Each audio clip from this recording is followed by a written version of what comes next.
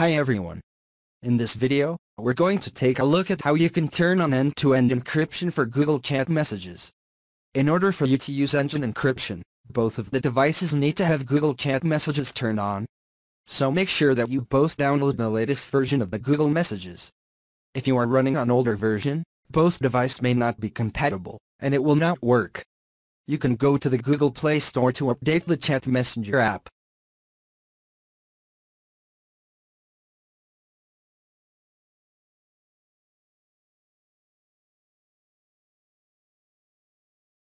Once you have the latest version of Messages, go into Messages. Open up the app from the home screen. Then tap on the Option button. And tap on Settings. In Settings, tap on Chat Features. And in here, you want to turn on Enable Chat Features. Sometimes, it is turned off, so you want to make sure this is switched on on your device as well as the person who you are chatting to make sure that they both have chat features turned on. And make sure that they are connected to the internet.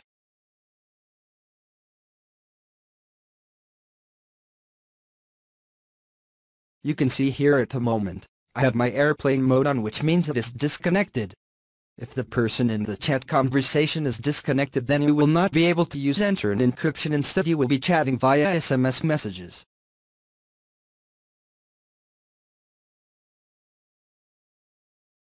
Once you have that turn on, and if you go and open up a text conversation, you can see here there are two background color.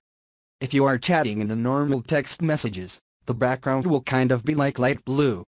And if you are using end-to-end -end encryption, it will be in dark blue. And you also see there's a lock icon where next to it to indicate that your messages are encrypted. And once it is encrypted no one else can see except you and the other person that you are chatting to. I have now go back online, and I'm going to tap on the send button. You can see right next to the send button, there is also a lock icon to give you an indication that this message is currently encrypted.